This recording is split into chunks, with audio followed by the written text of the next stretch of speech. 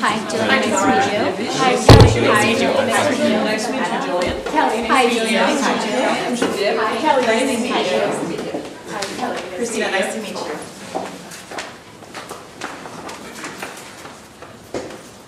Each team has 20 minutes to present its case to the judges. I will show a board for the 10, 5, last 2 minutes, and last 30 seconds of the presentation.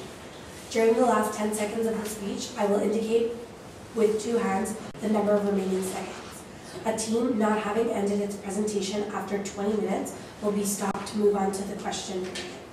A period of questions of a maximal duration of 5 minutes is assigned to the jury at the end of the presentation. I would like to remind each judge that it is mandatory to ask at least one question during this period. I will now invite the judges to introduce themselves and then you can start. Hi, I'm Pascal Landreville and I'm the Director of Marketing for Super C. Blake Lutti, Senior Director for Merchandising, Super C. Good morning, I'm Geneviève Biche, VP of HR for Metro Inc. Hi, I'm Anna Kolkowski. I'm the VP of Merchandising for uh, Metro Banner. Hello, I'm Christina Bellevue, and I'm an account executive for P&G Procter & Gamble. So, we've all been there at a point in our lives where we're working a lot, we're at school, it's finals, whatever it is. We come home one night, we're walking home from the library, it's cold outside, we're in Montreal, and we really want something home cooked, like a home cooked meal such as mac and cheese, let's say. We go home, open our fridge, and lo and behold, there's literally nothing in our fridge because we're working a lot and it's cold outside and we don't feel like going for groceries. Well, this is a problem that a lot of us millennials face, as well as many of you, I'm sure, at some point in your life. And this is a solution that, a problem that we're gonna attack today in our solution. So I'm here with my colleagues, Jillian and Kelly. My name is Tamara, and we're here to present our solution for Super C. So let's start off with a quick agenda. So we'll do company, industry uh, overview as well as a consumer walkthrough, and then we'll do our opportunity statement, uh, jump into our strategy, our finances, implementation, and then finally our key takeaways. Uh, so starting off, when really looking at this problem, we need to understand the industry as a whole. So the grocery industry in Quebec is doing quite well because food is something everybody is always going to need. Um, but as you can see, there are quite a lot of competitors that do quite successfully as well. So when we look at this positioning map, the things that we really found that are really important to Super C is to have a high value and a low price, and really deliver customers a lot for what they pay for the dollar. So looking at this positioning map, we do have a relatively high value and a low price considering the competitors, but we feel that by implementing our strategy, we can move to a better place. So looking in a bit more detail at uh, Super C as a whole, there are a lot of opportunities that we found with this case. Uh, so first is that they're a first mover with their application. Um, it's been very, very successful. They have over 76,000 uh, downloads. So definitely going in the strategy, we want to really capitalize on the uh, application. Additionally, Super C, as well as Metro, has a brand that's truly known for their quality and delivering a really high value for their products. Um, additionally, they have a high uh, customer base with over 31,000 newsletter subscribers, so a lot of people are kept up to date on what's happening with Metro and with Super C. And additionally, there are a lot of well-located stores in Quebec, uh, mostly in urban areas, so we're going to be focusing, especially today, just in the Montreal area. But additionally, they have a lot of opportunities that we want to work with. Um, with some threats, as we talked, there are a lot of competitors, and there is a growing lack of um, disloyalty, uh, especially with millennials, and fewer visitors just in general. So with this in mind, we really want to work on leveraging the existing brand equity that um, Metro and Super C has, and use this first mover advantage by offering out-of-the-box, innovative solutions. So by implementing our solution, we believe we can move Super C to a position of having high value and a low price that will really satisfy all customers. So meet Jean-Francois. Jean-Francois is a student much like myself and my colleagues. Uh, he's a university student that's in his 20s. Uh, he doesn't really like going to the grocery store and really avoids it until it's really necessary because of how busy he is. Uh, he is also saving to go to grad school, so he wants to save money and cut prices wherever he can. So he's not really loyal to any brand and really goes to wherever he can get the cheapest groceries possible. Uh, also, like most millennials, his phone never leaves his side. He even sleeps with it on his bedside table. So with people like Jean-Francois in mind, this is who Super C is really looking to target. So for this, we looked over a couple of alternatives that we think uh, Super C could look into based on their core values. So they really want to go towards loyalty, value, and reach as well. So we looked over maybe doing uh, convenient fast food because millennials do like to have fast food, so we thought of doing that in stores, but we didn't feel like this would really generate much loyalty. We also thought of maybe doing cooking classes to bring in people to be able to learn, uh, to be able to come into the store and buy. Again, we didn't think that they would really end up buying all their ingredients at Super C. So what we ended up doing is uh, we're going to go with our solution, which is a discount subscription box, which my colleague will now go into.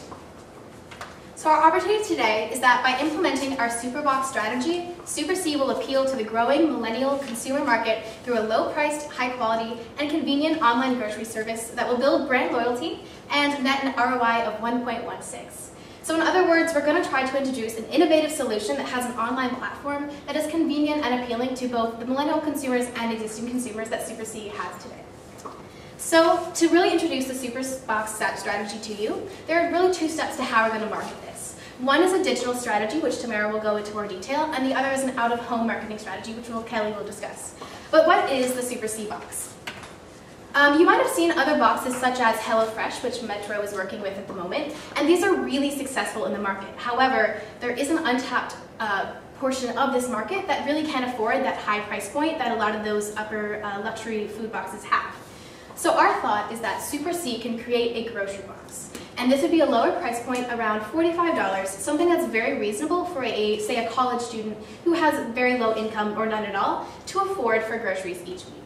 So the idea is to focus on simple, easy to make recipes. Um, we'll give some example of those going forward, but one big thing we also want to focus on is delivering uh, the private label ingredients. As the case discussed, Super C has a very strong brand with the uh, Irresistibles and Selection brands, and so we really want to capitalize on those and give those to the consumers to help grow that brand loyalty and trust Super C products.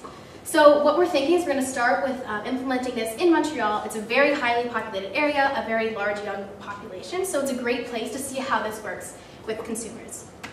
So some examples of the boxes we have are the Discovery for people who want to try um, more exciting foods, perhaps a, a, Mexican night or a Chinese food night. And so for people who really want to learn how to cook, um, some other examples, we have vegetarian, uh, we have Busy Bee, which could be for food that people make like sandwiches to bring to the library. So a lot of on the go. Um, the whole idea of these different types of boxes that we would deliver is really providing an affordable, hassle-free solution that satisfies all taste and lifestyles of the target consumer. So why will this work? The idea first is that Super C will have the first mover advantage. Well, there are other subscription boxes, and none of them have this low price point and super easy convenience that this box could deliver. Um, also, uh, we really want to capitalize on the existing relationship that Metro has with um, HelloFresh. And so by kind of using that system that you've used there, adapting it to work with Super C and working with this new subscription box. And finally, it has that Metro seal of quality and really appeals to the convenience and low price focus, and it completely satisfies the needs that these millennial consumers are asking to be satisfied. So let's now jump into digital marketing. So the first pillar, we really want to focus on the application. So we feel by having a subscription box, we really want to bring this also onto the app. So how we're going to do that is by having a QR code that's going to be on the subscription box that users will be able to take with their phones and then link to the app where there will be recipe videos. So based on the ingredients that are put in the boxes, they'll be able to have actual recipes for nights. So let's say they don't necessarily how to cook, know how to cook a pad thai, they'll be able to know how to cook one. So uh, they'll also be able to track the packages, uh, know their upcoming recipes, and then use account data to personalize their coupons or whatever they're getting. And this is also a plus for you guys because then you'll have a really good understanding of what your consumers want, and then you'll be able to, to use this data to offer more customizable solutions to them. So next, targeted emails. You guys already have a, a large new newsletter following, so this is something we really want to focus on. So we could target based on consumer lifestyles, geography, purchasing patterns, whatever it is. And then uh, we want to leverage these audiences to start by advertising the Superbox and then, of course, encourage the app use. And then finally, so social media, this is something that we definitely can't go without. So we're gonna be launching the hashtag MySuperbox. Uh, we're gonna do influencers unboxing. So you guys may have seen uh, haul videos. So this will be the sort of subscription box version of that. Uh, next, contest to win free boxes. So uh, the number of likes you get on hashtag pictures or whatever it is. So this is going to create virality for the product. And then uh, refer a friend product. So you guys probably saw the Uber sort of uh, share the ride with a friend and then get a ride free. Uh, so this will be a sort of discount to encourage people and of course word of mouth because we all know the best way to build a brand is by experience. So uh, why will this work? Um, thank you. Uh, so millennials do use social media extremely extensively, so this is a great way to target them. Our solution would definitely not be complete without a social media co component. Um, also, it's inexpensive, so this is great for you guys. Uh, there's also a really high reach, so for uh, a little bit of money, you guys are going to be able to reach in the thousands, hundreds of thousands, whatever it is, uh, really reach the market that you want. Also, it's interactive, so millennials really search for an experience. They want something, they want to get to know the people they're working with, the people they're buying from, and we feel like social media, having a, a competition or um, anything like that will really push that. So the third part of our marketing would be uh, the out-of-home marketing. So basically everything is not digital. The first part of this would be um, the advertisements that we would put inside Metro, so inside the STM Metro. Uh, so what we would do with that is, first of all, first of all, it would have very high reach and it would be targeting the consumers that we want. So most people that are on the Metro are on the go. They're also young, a lot of young consumers, and they are a price-sensitive market because typically people that are taking the Metro are people that are trying to save money. Um, we would also want to advertise on school campuses because, as you mentioned, students exactly like Jean-Francois, like we mentioned earlier, this product would work perfectly for. So we would use it during uh, orientation and even during finals when everyone gets even more busy. Uh, we would also have ads in store. Uh, we would have it in store because there are people such as Jean-Francois that even though they don't like going to the store, they still have to go to and see the different prices. So when they go, they would see this great option and want to take advantage of it and why this will work. Oh, sorry. This is also what um, the advertisements in the Metro would look like. So it would just have what's in my super box, and there would be the QR code on the bottom of it that you could scan very easily, um, and you would be able to get more information on what the product is. And why this will work is because you're reaching a non-digital market.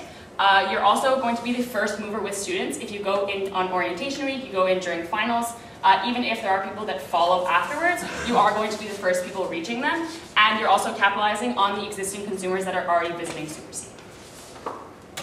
So now that we've talked to you about all of our strategy, I'd like to kind of summarize and walk you through what a typical consumer would go through with the idea of our strategy in mind. So take Juan Francois that we were talking about earlier. The first step of this is just raising awareness of this box in general. So let's say he's on the metro going to school one day, and he looks out and he sees the metro advertisement, and he sees the Super C box. Right there, you have that initial uh, knowledge and brand awareness that we really want to capture first. The next step is really reaching him and wanting to get him more engaged. So let's say now he's on campus for school, and Super C has come and set up a desk to really just discuss this box option. They're the first one on their campus during orientation week to get their name out there. They're the only grocery store that's making that effort to really be there for the consumer and satisfy something that they haven't had as an option before. So once he's seen all these options and he really knows a lot about it, the next step is conversion and really getting him to commit to this. So naturally, the first box, uh, he'll try it out, see how it goes, and I'll hopefully also download the app because as Tamara discussed, once you have the app, there's a lot of connectivity that you can have, let's say with a QR code, knowing the recipes, or just getting more information about the ingredients and shopping in general. So let's say that Juan Francois uh, uses this the, the box and he loves it. And so the next step is really building this loyalty that Super C is searching for with these millennial consumers. The way to do this once he continues the subscription is really uh, focusing on the My Superbox campaign and really engaging with social media because once you have one young member on social media, sharing this content with his friends, whether it's an Instagram of his box or an Instagram or a Facebook video of the food he made, really showing how much that has impacted his life to really help the peers see that this is a very uh, valuable idea. And additionally, with the Refer a Friend program, it's so simple and so easy to just get people on board through word of mouth and through social media. So as we walk through this, it makes sense that all of these things are connected to really uh, serve all of the customer's needs, because that's what's important at the end of the day. It's really satisfying that need for convenience, price sensitivity, and good food. Uh, so by doing this, there's also the nostalgic aspect of the food. Uh, Super C was there for them in their younger days, in their millennial days, and it's a grocery store that was there to serve their needs when they needed it. So we believe that by having this relationship with the grocery store can build long-term loyalty um, and help maintain this recommendation and maintain the relationship with Super C for a very long time. So with that in mind, there are certain risks and mitigations uh, that we want to look into. So first, as I mentioned earlier, there is a risk of copycats uh, that once we have this idea and we, we uh, execute it, that other stores will want to follow suit. However, we believe we do have the first move advantage. As Jillian mentioned previously, we are going to be the first ones that are going to be engaging with uh, students, engaging with customers, and I think that will really go a long way. Uh, the second thing would be that there still is this time-consuming perception because millennials, as was mentioned, do want to get fast food and they want to get it over with quickly. They don't really want to go home and make a meal. However, what we feel the difference is with our solution is that currently HelloFresh um, is very successful and all of these different uh, subscriptions are successful. However, they are time consuming and they are expensive, which is where this idea comes from. However, we are going to be emphasizing on the fact that they are simple recipes and they are easy to do when you get home. So this is virtually an untapped market because there is no grocery store that's doing this right now and there is no company that's doing this right now. So this would really give us an advantage. Uh, now when looking into the finances, so we estimated that there was around uh, 1.6 million people in Montreal, and uh, seeing that there was 25% of millennials that were projected for uh, 2020, uh, we put this as our assumption, which gives us about uh, 400,000 people as a reach. However, we believe that, uh, or 160,000 people, sorry. we believe also that there would be about a 2% conversion rate was conservative enough, which would end up giving 3,200 people. Uh, in terms of revenue, we've priced our box at $45. So the reason we priced the box at this is because HelloFresh is currently priced for six meals for $60, which we believe is quite high of a price point. And by pricing it at $45, that gives us seven, uh, $7.5 meal per, uh, per meal for each person, which is quite a low number. Even if you think of eating at a fast food restaurant, most fast foods are at least $10. So this is a cheaper option and it's generally going to be simpler for our consumer. Um, so this gives a revenue of 3,200 people times $45, and we're assuming that it'll, they'll subscribe for the year. Uh, this assumption is based on the fact that there will be new consumers that will come in, and there will be consumers that might not purchase for the whole 52 weeks. Uh, then in terms of cost, so we assume that the, the box would cost $35. Uh, this is including ingredients and delivery. Uh, then in terms of uh, enhancing the application and the, create, the creative cost, it would be $200,000. Uh, in terms of digital marketing, we, it's much cheaper to advertise digitally. It'll be around $100,000. And the out-of-home marketing, as we mentioned earlier, in the metros would be uh, $300,000. This is including um, everything in uh, orientation week as well. Then the reach is the number of people that we will be able to reach from each of these activities. Okay. So, and this gives an ROI of 1.166, as we mentioned earlier. Okay, so now let's jump into our implementation. So as you can see, we've put a 12-month period to really see how we're going to run through all of these initiatives. So first from January to March, we're going to develop the Super Box and enhance the app. So this would be creating the videos for the uh, recipe videos and all of that stuff. Uh, next, we're going to launch the Super Box in April. We feel like spring is a great time. People are feeling fresh, people want something new, and this is the new thing for them. Um, next, the digital marketing campaign will really start in March, so right before we launch the box, and then we'll go throughout the year, and as long as we need it to go. Uh, this is really something that's ongoing, an experiential, experiential component with uh, the customer. On campus will really be during orientation week, going through the month of October as well. And then in terms of out of home, this will really be like a good block of the year as well. So uh, before we launch the product as well as uh, into the semester. So um, to finish off with our key takeaways, oh, sorry. So in the future, uh, the idea is really to expand geographically. So we'll try out in Montreal first to just to see how it goes as a, um, a trial period, and then expand to uh, Quebec as well as Canada. Next, customization. So you'll have all this data on your consumers based on the app and all of that. So this will be a really great way to push customization and a better product for your customers. And then seasonal offerings, we thought it'd be a really cool idea to have uh, a fall a fall flavors box or a winter sort of party box. So we'll see how that goes, but that would be ideas for the future.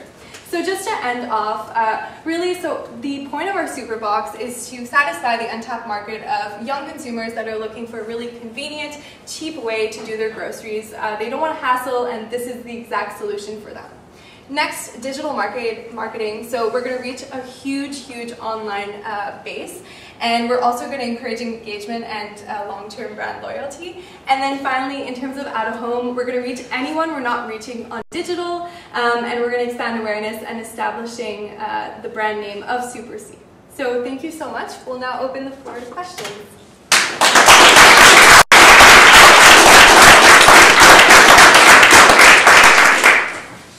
So I do have one question. Um, so looking at your presentation, um, you did you know a quick SWOT analysis, and then you went straight into the super box.